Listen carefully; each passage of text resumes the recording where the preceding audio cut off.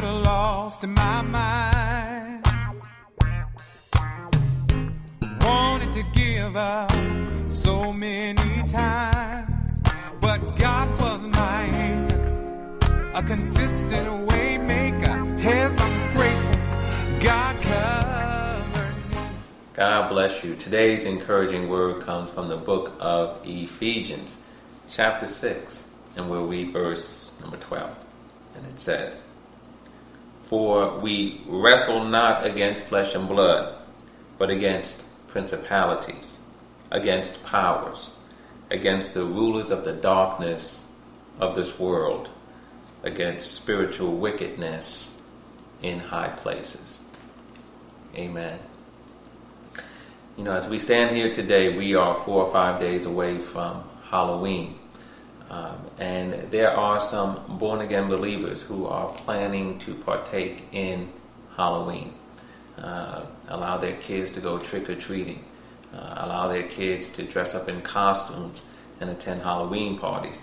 And in fact, there are some born again believers who are adults who are planning to do the same thing. Well, hopefully not the trick or treating part, but they're probably uh, planning to, to, to go to a Halloween party. But even on that, these are things that need to be reconsidered by people of God. You see, because we really do have to make a decision as to whether or not this Word of God is true. And the scripture text that we uh, read today, um, as born again believers, we are very familiar with it. Uh, we often talk about the battle against the powers and the principalities and, and, and the rulers and all of those things. Um, we often talk about those in our daily walk with God. We talk about how we have to battle against the spirit realm, uh, the evil spirit realm. And certainly we understand that the spirit realm is real and that there are evil spirits that are assigned to this earth and even assigned to our lives to try to wreak havoc and to destroy us.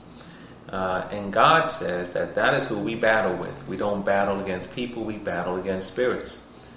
But if that is what we do in our daily walk with God, that we wrestle against these spirits and we overcome them in the name of Jesus, then why do we take one day out of the year and align ourselves with them in, in a so called celebration of Halloween?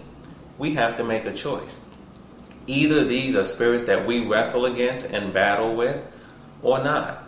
And if they are, then there's no one day out of the year where you can set that aside and say, well, I'm going to partake and do the types of things that celebrate these evil spirits. And that's just what Halloween does. When you look at the origin of Halloween, it's about all things evil, celebrating the dead and witches and warlocks and ghosts and all those types of things. The very things that God says that His people should avoid and stay away from. And so we have to make a choice. And there is someone who's watching this today where you are going to, today at lunch, you are going to go and buy your child a Halloween costume. And the Spirit of the living God and His love has brought this to your attention today so that you do not go out and make that purchase. But instead, God is directing you to go home and talk to that son or to that daughter and to explain to him or her that as a, as a family of God, we do not partake in Halloween because these spirits that are elevated on, on uh, October 31st by the world are the very spirits that the Word of God says we ought to wrestle with and to overcome. And now we've made our choice.